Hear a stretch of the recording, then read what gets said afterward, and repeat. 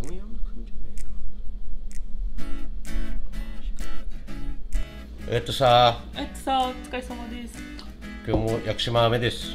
小雨ですね。小雨です。今日は足がつってね。もう老体に夢中ってるもんだからもう限界体が運動のしすぎそうそうそう運運動しすぎてるもんねえーさちゃんとアスピのおお料理チャンネルのお時間がやってまいりました今日のお題は？今日は春雨を使ってヘルシーラーメンをおおいいね、作っていきたいと思います、うん、私もダイエット中なんで。ダイエット中なので。ちょっとあの美味しくて。少し痩せました。ええ少し。わからないからみんな。ねまあいいかレッツ。レッツ。クッキン。グ切りましょう。いいです。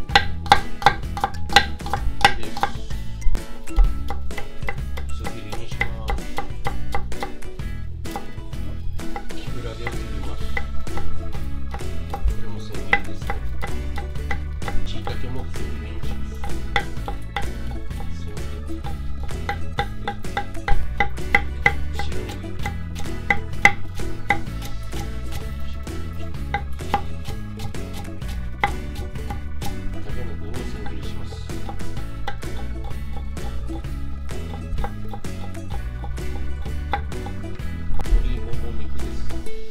長めで皮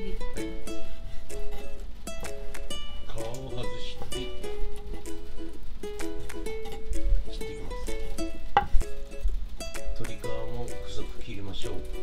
鶏皮入れたら旨味が出ますはい仕込み終わりました。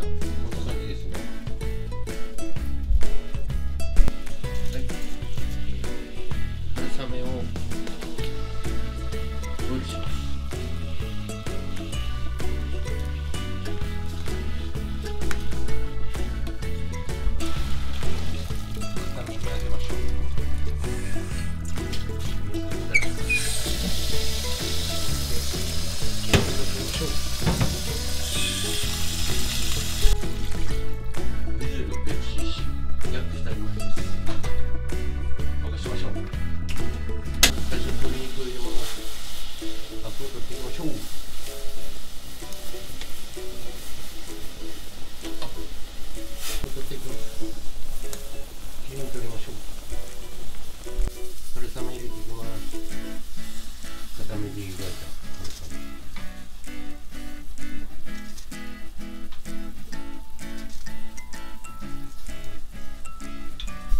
シャンタンを小さじ1キロ入れましょう。準備しておいた野菜も